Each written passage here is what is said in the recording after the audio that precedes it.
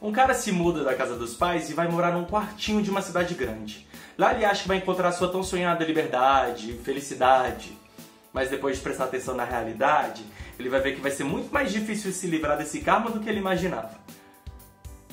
Se você gostou dessa história e quer saber o fim, é só clicar nos links aqui de baixo para saber onde comprar esse livro.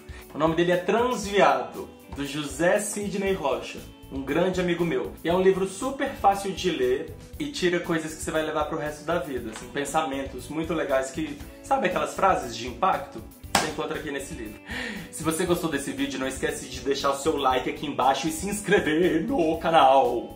E também deixa aqui seu comentário para saber qual livro que você gostaria de ver aqui no Contém Sinopse. Para quem não viu os, os, últimos vídeos do Contém Spoiler, eles estão aqui, mas presta atenção, só clica se você quiser saber do início ao fim, porque eu conto a história inteira em um minuto. A história inteira, toda, toda, toda, toda em um minuto, então é cheio de spoiler. Não clica se for para brigar comigo não. E aqui os últimos, últimos vídeos do Contém Sinopse.